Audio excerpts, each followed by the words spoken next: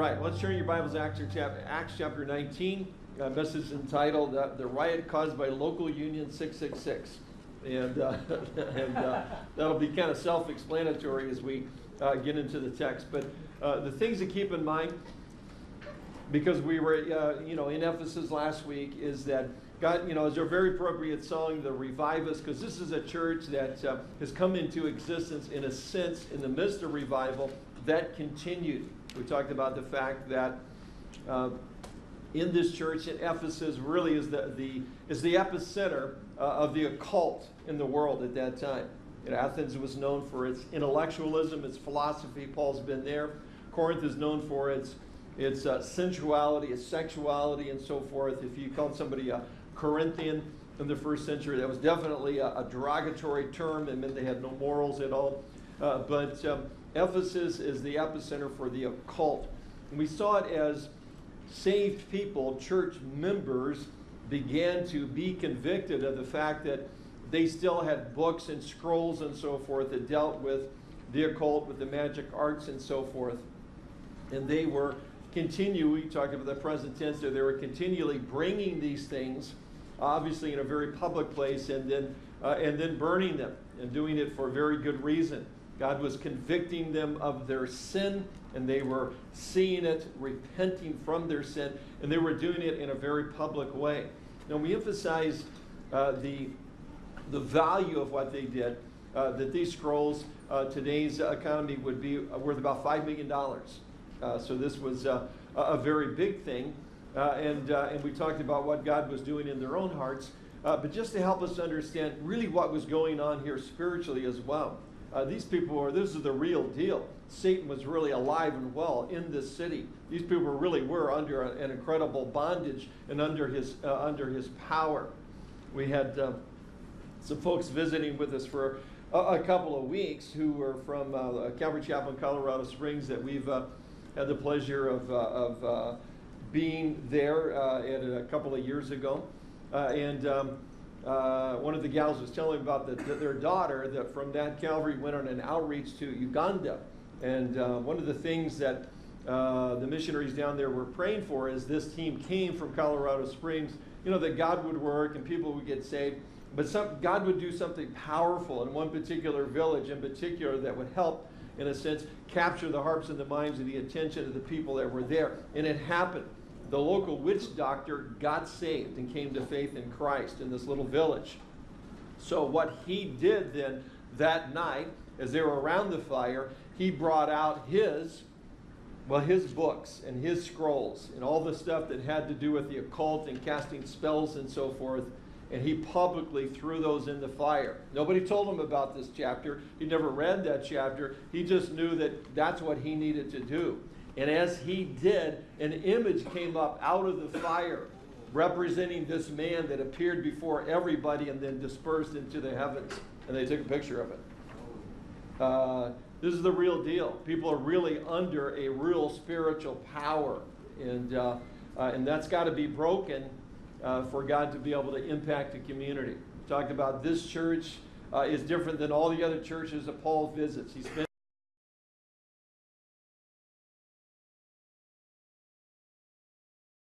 there in Greece, in northern southern Greece, and get it, uh, as we'll see in our text, all the way to Rome, which is desire. He's got to he's got to break the back of the enemy at the epicenter. There's a lot of people that would say, Paul, you're crazy for going to that city. he says, no, that's where the devil is. People are under his power. That's where I want to go. There are other men like that. Hudson Taylor was a man like that. When he went to China, somebody told him, wherever you go, Mr. Taylor, don't go to this city. It was kind of the Las Vegas of China at the time. Lots of prostitution, drunkenness, gambling, and so forth. Hudson Taylor said, How do I get there? that's a place where people need Jesus Christ. And he went on to that city. Uh, that's like the Apostle Paul here. So good to have that all, all kept in mind. We're going to talk about the, the temple uh, to Artemis or Diana, and, and uh, we mentioned the fact that it's over, uh, it took 200 years to build. Uh, it was one of the seven wonders of the ancient world. Uh, they're going to make reference to it uh, in, our, in our text. Uh, it was uh, a football field and a half in length. And um, and uh, you know 50 60 feet in height uh, just an incredible building. When when king xerxes of the persian empire that we read about in esther when he basically invaded greece attempting to take it he saw the temple and said that's how far back it went. We're in the first century now. He said don't destroy that. Don't harm it. It's, it was such a, an incredible piece of, uh, of architecture the other thing you need to know historically and i mentioned it briefly is that and we'll see it again in the text they will make reference to the image of Artemis or Diana that Zeus brought down from heaven. In reality, historians tell us that it was probably a meteorite that fell, uh, a piece of black rock, and then craftsmen carved it into what we would might consider to be a grotesque image, but was a symbol of fertility and sexuality and so forth, a large image that was, uh, again, centered in that particular uh, temple. Let me show you just a couple more slides that we looked at last week. So here's uh, the amphitheater that will be the kind of the basis for uh, Luke's narrative here. And uh, right now today would seat about 25,000 people. Uh, but there are archaeologists and some other historians that believe that because it's not fully excavated, it may have held as many as 50,000 in Paul's day. And again, like most Roman amphitheaters, uh, perfect acoustics, where that per person is at the base, uh, they could speak uh, and it could be heard very clearly uh, even to the upper rows. And then we've got one more slide just for a comparison to show you how it looked at in the first century. And then at the bottom, the comparison with the sides of uh, Wrigley Field. So, you know, close to, to the uh, to the size of possibly Aloha Stadium as we think about that today. Where UH happened to win last night. I just thought I'd throw that in. Three points wasn't a lot, but thankful for all the wins we can get. but anyway, so that's the background uh, on our on our story, this church, and what God is doing there. And certainly now there's uh, opposition. Let's look at verse 23 to 27. One man speaks against the church and was saying in a very dishonest way. You'll see why in a moment. Uh, when these things were accomplished, Paul purposed in the Spirit when he had passed through Macedonia and Achaia to go to Jerusalem, saying, After I've been there, I must also see Rome. So he sent to Macedonia two of those who ministered to him, Timothy and Erastus, but he himself stayed in Asia for a time. So a couple little verses, introductory comments that kind of bridge the last narrative we were into, the one we're coming to uh, here with this man uh, Demetrius. So Paul is basically going to send Timothy uh, and Erastus on back to Macedonia, back to Corinth, back over to, uh, to Greece he's going to remain for a time. It ends up being a very extended period of time. Mentions his desire to eventually get back to Jerusalem.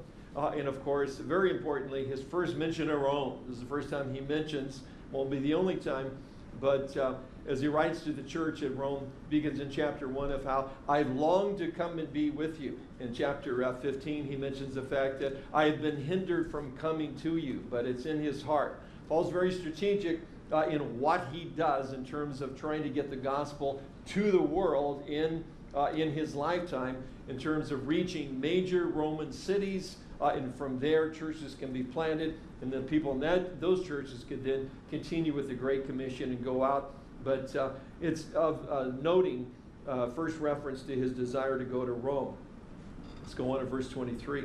And about that time there arose a great commotion about the way and again, that's based on John 14, 6. I am the way, the truth, and the life. So again, the way was a sect of Judaism that included the believers, Jews, and now Gentiles that believed Jesus was the Messiah. For a man named De- uh, Demetrius, a silversmith, who made silver shrines of Diana, brought no small profit to the craftsmen. He called them together, and the workers in similar occupation and said, Men, you know that our prosperity you know we have our prosperity by this trade. Moreover, you see and hear that uh, not only at Ephesus, but throughout almost all Asia, this Paul has persuaded and turned many people, uh, saying that they are not gods which are made with hands. Uh, so not only in this trade of ours in danger of falling in disrepute, but also the temple of the great goddess Diana may be despised and her magnificence destroyed whom all Asia and the world worship. So we're saying it's a it's a disingenuous uh, or a dishonest uh, argument because his real motivation is money. It's all based on a concern for a loss of, uh, of income. Uh, notice again, verse 24, it's Demetrius. He's a silversmith. He's making shrines, so he's making the little shrines out of silver. They're selling them and so forth, uh, and so they're losing money. Uh, they lost income because of the changed lives of, of Christians. Paul didn't go out speaking in opposition to the silversmiths. He didn't picket the temple of Diana, uh, and he didn't stage an anti-idolatry uh, rally. He just preached the truth uh, of the gospel. It was just the natural results of, uh, of people coming to faith in Christ. We see a similar incident in Matthew 8 when uh, Jesus cast the demons out of the man of Gadara, uh, and as a result, they lost one of their industries as well, which was, uh, again, uh, herding pigs and so forth. Very difficult to explain being in Israel that you would have a business raising pigs. and so they are destroyed. And, and they're upset with Jesus, and they want him to leave because of a loss of income. And it's uh, been that way throughout church history as well. Uh, you can go back and read newspaper clippings and articles of Dwight M- uh, Moody, of Billy Sunday. Uh, in back in those days, when a uh, when something good happened in terms of Christianity, it was front page news. It would be the front page story that Dwight, Dwight L. Moody had uh, brought a revival, and they then in the article, they list how many people were, were saved, how many people had made recommitments to the Lord, how many people had uh, attended the, the crusade each night. And then they would always list the number of businesses that had closed. That would be bars. no business. Can't stay in business any longer because nobody is frequently uh, frequenting those places because of their faith uh, in Jesus Christ, because of the changed life. Uh, and in fact, with the Salvation Army, uh, in Great Britain and in places like London in particular, uh, they had an entire group come against them. So many people were coming to faith in Christ because of the Salvation Army. Another group was formed called the Skeleton Army. And they were made up of all the people that owned brothels and uh, in bars, uh, and they pledged pretty large sums of money uh, to set up rallies against the Salvation Army in opposition. Exactly, in a sense, what's uh, what's happening here. So, what's happened in terms of this text has happened in church history. Now, the curious thing is that there's tremendous opposition in our country and our culture to Christianity today. I mean, unlike any, any, other, any other time. There's not a week goes by, there's not a story uh, about uh, somebody who is a Christian who is either being fined by the federal government, their business is being shut down by the federal government, uh, or some other story, some other story of discrimination, whether it's in the military now or, or in the public sector. I, I don't think it's because we're having such an impact on the world and on our culture. I don't think it's because there's so many thousands of people coming to faith in Jesus Christ. I think it's just because we're living in the last days. I think it's just the times that uh, we're living in. Uh, but we certainly live in, uh, in days of men like, uh, like Demetrius, uh, and that's for sure. Secondly, uh, one speaker uses arguments, as I mentioned, that are uh, deceptive. Notice what he does. He gets the, the people's attention there. Obviously, he's worried about his own pocketbook and how much money he's not making that he had made previously. He makes an appeal to them in pride. Hey, it's not about that. It's about the honor of the city. It's about the greatness of our goddess and her temple. We see that in verse 20, 27. Also, the temple of the great goddess Diana may be despised. Oh, man, we wouldn't want that to happen. Her magnificent, uh, magnificence destroyed. It's all Asia and the world that, uh, that worship her. And we know from first century archaeology, from documents, that, that uh, certainly the world at that time was polytheistic.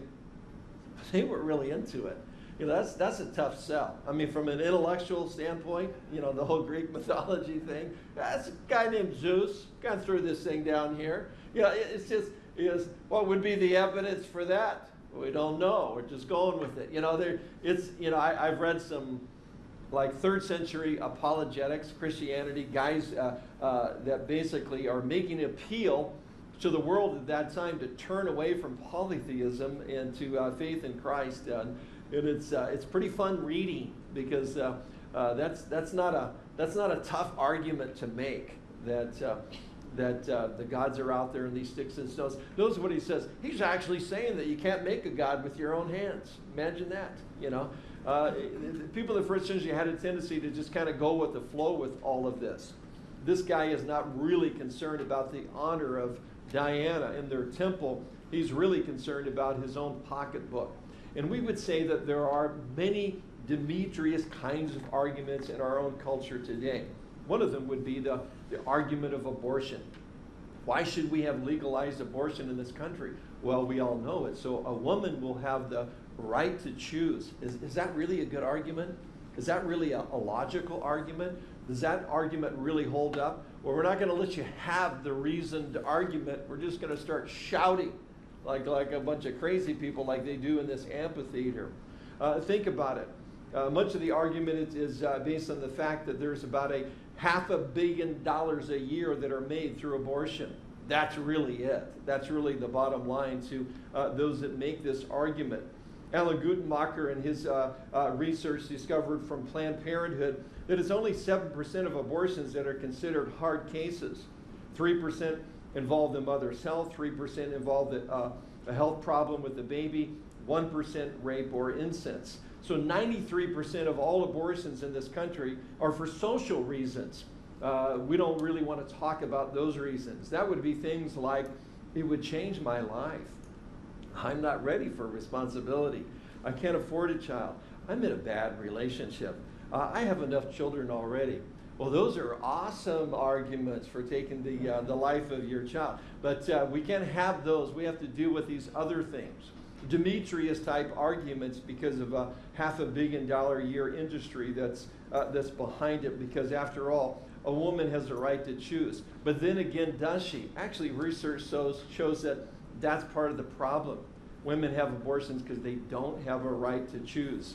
In an article entitled Who's Making the Choice, in a post abortion uh, review states that hundreds of thousands of women undergo unwanted abortions every year to please someone else or because of pressure or coercion by their sexual partners, parents, social workers, counselors, employers, or school administrators. A boyfriend or parent threatens to throw her in the streets unless she follows his or her wishes. A boss gives an employment ultimatum. Social or school stigma interferes with the choice the girl would otherwise make. According to the survey of 252 post abortive women, more than half said they felt forced into an abortion by others. Forced, that doesn't sound like a choice, does it? It sounds like they're being forced into an abortion. One survey, 70% of women choosing an abortion, so called, say they believe abortion is immoral. 70%. They violate their own conscience. It's not because of choice, it's because of pressure, and they're being pressured into it. Uh, more than 80% of women who report post abortion problems say that they would have carried the child to full term if they only had some kind of help and support from family or friends that would allow them to do that. There's not a lot of choice in women having an abortion. That's a Demetrius kind of argument. Can a woman choose with her own body to steal, to do illegal drugs, to be a prostitute? No, no, they, they certainly can't. There's lots of things a woman can't do with her own body. Again, uh, this, this reason uh, for abortion that everything is predicated on is a Demetrius kind of argument. It's disingenuous.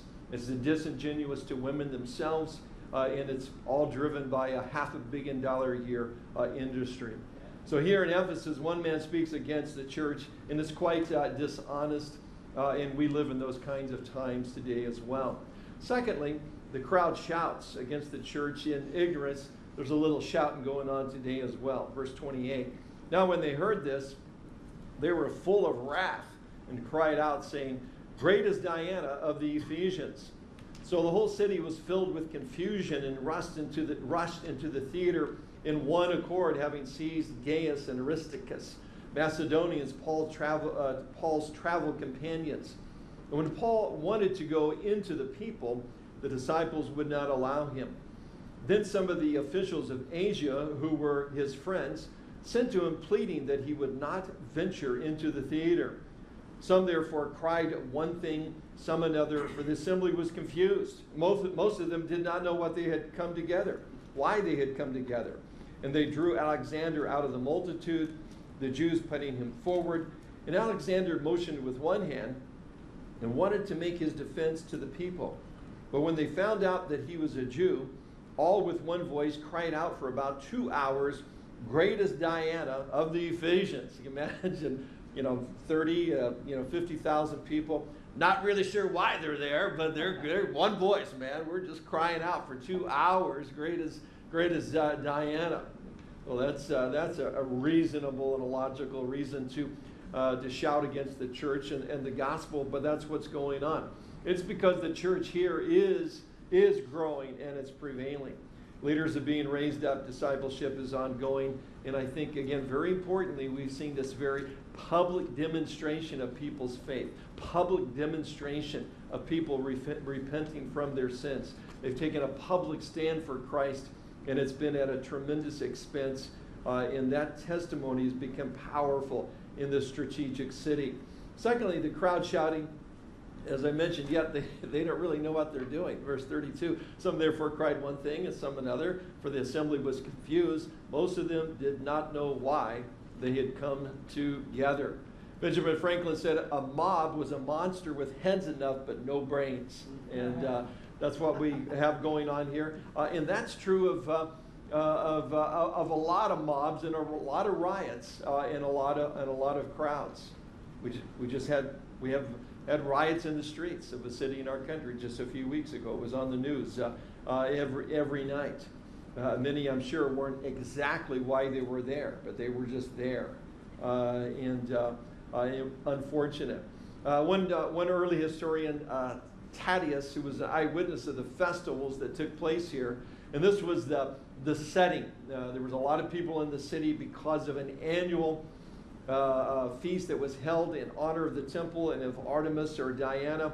Uh, and he wrote this uh, quote, It was the festival of Artemis, and every place was full of drunken men, and all the marketplace was full of a multitude of men through the whole night. So, again, the ritual chant, Great is Artemis uh, of the Ephesians, uh, again, uh, is echoed throughout the entire city.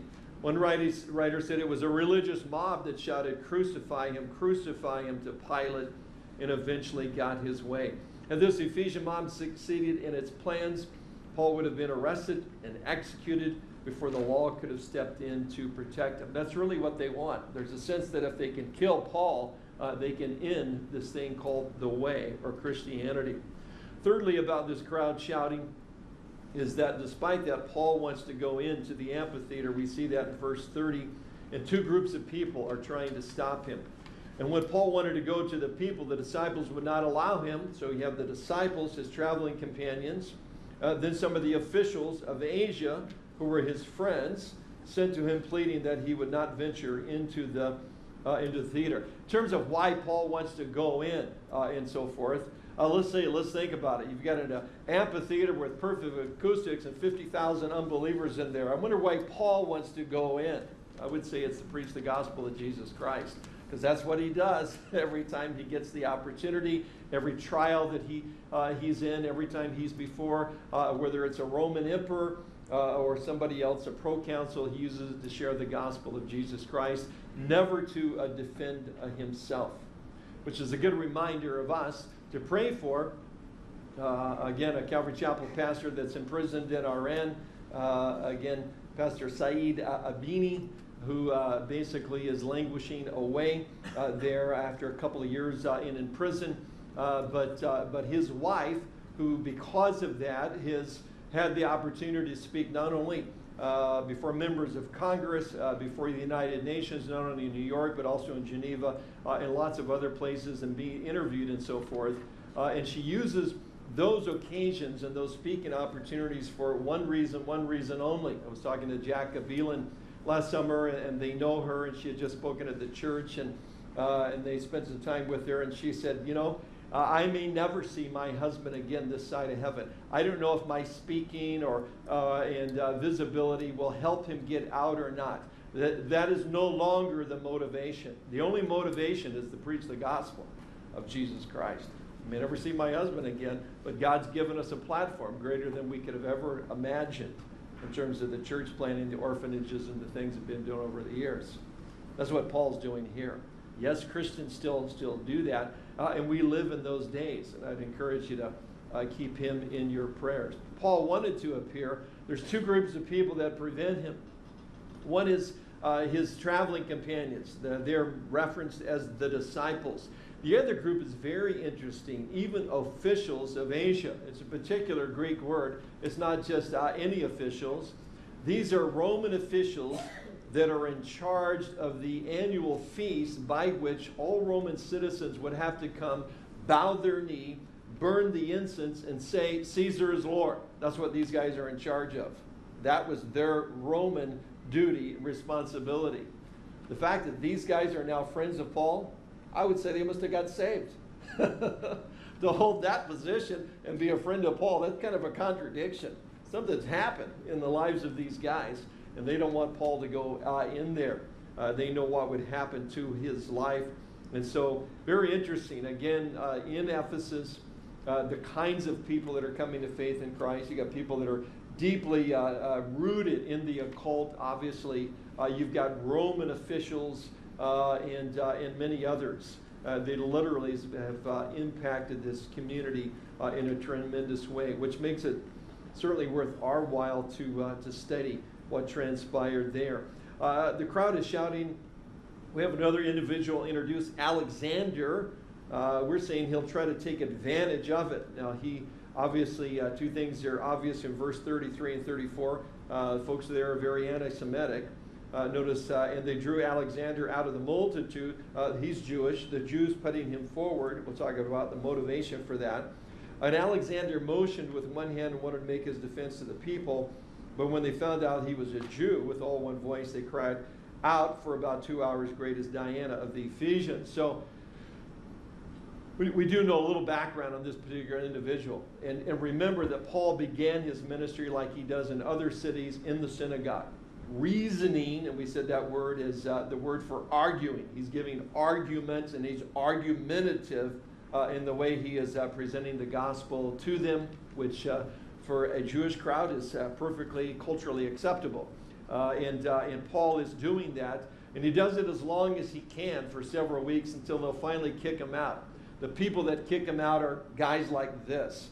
Uh, there are those that have received the gospel, those that have rejected it. So then he goes into the lecture hall of Tyrannus and he uh, continues on uh, midday preaching and making disciples there. Uh, but the Jews at that point, uh, they do not want this turmoil to be reflected against them. Uh, they want to make sure that hey, we're with you guys, uh, and we also we want to see this guy ended. So fine with us if you kill the apostle Paul, because we got a we got a problem with him as well. So that's his motivation. He, you know, he's pushed forward by the Jews. Hey, get up there and let them know that we're on their side in this whole deal. Uh, we don't want them storming the synagogue next week and come coming after us. Uh, they would be defending themselves in a sense and they also want to see the Apostle Paul uh, in his life uh, ended or at least uh, driven out of town.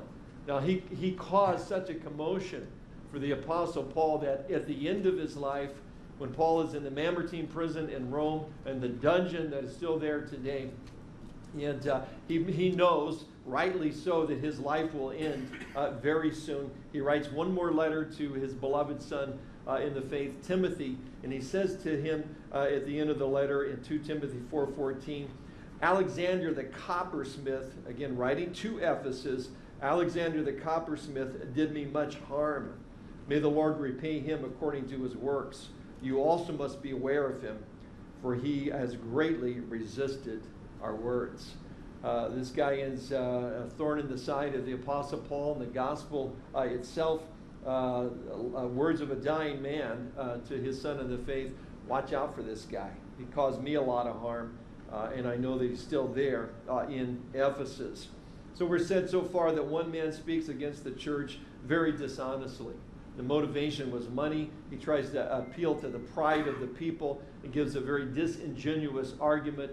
And certainly, we said there, I just mentioned one abortion. There's, there are lots, so we could talk about intelligent design versus evolution.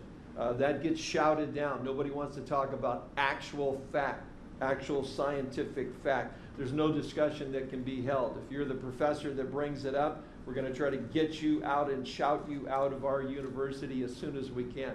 Uh, you know, these, these Demetrius type arguments uh, surround us today uh, in the church. That led to the crowd's uh, shouts against the church uh, in, in, ignorance. And um, some of the most recent shouting uh, just happened a few days ago, that at least that I read about it. Uh, and that was of a, a, little industrial town north of Boston. and there, Gordon College, which is a very fine Christian evangelical institution there in Boston, been there a number of years, would send over into this city almost 20% of the people below the poverty line. Uh, they're a teaching school. They would send teachers uh, to teach these kids in after school programs and mentoring and tutoring. And they've been doing it for 11 years. It's been a, a huge blessing. They would uh, then bring hundreds of these kids uh, annually on the campus to introduce them to the idea of college and you can do this and you can get an education and so forth. Uh, and up until now has been uh, uh, very well received. But uh, just this last week, they were informed that that program of 11 years would have to end. And the reason it would have to end uh, is, uh, is because of a piece of legislation. Well, it's not a piece of legislation. It failed as a piece of legislation. But now uh, our president, President Obama, has said he's going to sign an edict to put in place what's called ENDA, or the Employment of uh, Employment Non-Discrimination Act. And basically what it says is if you have 15 employees or more uh, and you, for some reason, refuse to hire somebody that's a homosexual, then the weight of the federal government in terms of a discrimination suit against you uh, will be uh, brought to full, full bear on your particular business. There is a religious exemption for churches only, but not other Christian businesses, such as a Christian college. So under this, again, it, it didn't pass. It didn't make it through Congress. So the president is just going to sign it in as uh, another of his edicts. Uh, and, uh, and again, a Breakpoint article that I read concerning this says the following. Uh, Lindsay, who is the uh, president of Gordon College, Lindsay and Gordon College are simply requesting that the president provide the same religious exemption that was passed by a U.S. Senate bill last year with bipartisan support. By requesting that ENDA not discriminate against them, Gordon is now receiving the end of a new witch hunt. Uh, the leaders of Lynn, this little uh, town, in their wisdom, have ended the volunteer program with the kids, saying, in effect, we can't let those bigots near our school children. As Rod Dreher, writing the American Conservative, says, one school official has said that, quote, Gordon needs to say, the college, I'm sorry for the request in the letter and in sorry for being true to their Christian faith and their heritage. What was his big sin? He wrote a letter to the president. Could we be exempted from this, this uh, ENDA, from this uh, uh, discrimination bill? That's all he did, but that was a sin. So you can't speak out against any of these issues. You can't say that you should have a religious exemption. That's where we're at today. It's just a shouting match. Nobody can talk about the actual what's transpiring. Who's losing? The kids. The kids are losing. Is this an isolated incident? No, it's repeated across our country. People are hurting in major cities because groups like Catholic Charities have basically been booted out because they would not agree with the homosexual agenda. Uh, it's very interesting the days that, uh, that we're living in. We hear our own president and, uh, and former Secretary of State Clinton, uh, if you'll listen for, listen for a couple of terms, they'll use terms like the freedom of worship. What do they mean by that? That means you can go in your building and you can worship, but don't bring it out here. They believe in the freedom of worship. That is in contrasting to what our founding fathers fought and died for, and that is the freedom of religion. That means I can walk into the public square, in my public office, in my building, in my business, and I can take a stand and express my religious views. Freedom of religion. I can't be discriminated against by others or by the government because of my religious views. That's what's in danger, our First Amendment rights. There's a lot of shouting going on out there. Nobody knows exactly what they're saying. There's a lot of confusion, uh, and uh, it's just like the scene in this amphitheater here in Ephesus in the first century. Well, there's one man that attempts to save the day, the unlikely hero. Uh, I've kind of subtitled this, or is he really saving himself? Verse 35. And when the city clerk had quieted the crowd, he said, Men of Ephesus, what man is there who does not know that the city of the Ephesians is the temple guardian of the great goddess Diana and of the image which fell down from Zeus. Therefore, since these things cannot be denied, you ought to be quiet and do nothing rashly. For you have brought these men here who are neither robbers of temples nor blasphemers of your goddess. Therefore, if Demetrius and his fellow craftsmen have a case against anyone, the courts are open and there are proconsuls. Let them bring charges against one another. But if you have any other inquiry to make, it shall be determined in the lawful assembly. For we are in danger of being called into question today for today's uproar, there being no reason which we may give account for this disorderly gathering. And when he had said these things, he dismissed the assembly. So the city clerk who attempts to save himself by quieting the crowd. So he's not, uh, he's a Roman official. Uh, he's a city official, excuse me. He's a city official in a free city. Uh, the Romans would love to come in at Ephesus and go, I think we'll just take this over again. But they've allowed them to rule themselves. They're in a, they're in a free, free city. Uh, he is not the proconsul, but he's the one who delivers uh, all of the official messages uh, from, uh, from Rome. Uh, anything the city has to say and so forth. This is, this is his gig in the, in the amphitheater. This guy walks on the stage in this amphitheater. Everybody in the amphitheater knows that's the guy. He's got something pretty important to say. We better shut up and listen here. That's just kind of how it worked. That was his position. He was the one guy that walk, could walk on that stage and everybody go, oh, okay. Eh, there's some about uh, something very important about ready to be set. That's that's why he's able to go, and everybody's quiet. It's because of his position. Uh, and, uh, and so, again, he also appeals to their pride. Um, who doesn't know that the city uh, that the city of Ephesus is the temple guardian of the greatest uh, uh great goddess Diana? Again, he he says that he appeals to their pride. He appeals to their belief system. He makes reference to the image coming down. He kind of retells the story. He retells their own little gospel story about Zeus uh, sending this little goddess, uh, you know, down, and then uh, that's how this whole temple was uh, was built and so forth. Why does he need to do that? Because their entire belief system is crumbling around them because of the truth of the gospel of Jesus Christ. Because what Paul is able to do is make a reasonable defense of why there is one God and why we need to believe in it. Writing again to the church uh, in Rome, uh, longing to get there at some point in time, he's able to talk about those two, those two witnesses that everybody has. Everybody's got a conscience, uh, and everybody can see creation. Uh, and Paul is able to make a reasonable defense of the gospel of Jesus Christ. And their belief system needs some defending. He appeals to the pride, he appeals to their belief system. In terms of why he intervened, uh, well, it's because of a concern about Roman law, and that's in verse 40. Uh, there's a very important statement if you're an underliner there. For we are in danger of being called into question for today's uproar, uh, therefore, being, uh, there being no reason which we, we may give uh, to account for this. Quote, there's the important phrase, disorderly gathering, otherwise known as a riot. Why?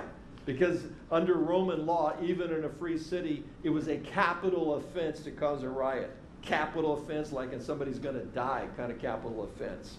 So the heads of this city, maybe this guy in particular, probably Demetrius and some others, if they don't quiet this thing down, if this thing gets reported back to the Romans, they're going to come in here and literally some heads are going to roll. And, uh, and that's not a figure of speech. Uh, and they are going to take this city back over again. And so everybody in the crowd went, oh yeah. And then they left. I just threw in the oh yeah, but it says they quieted down.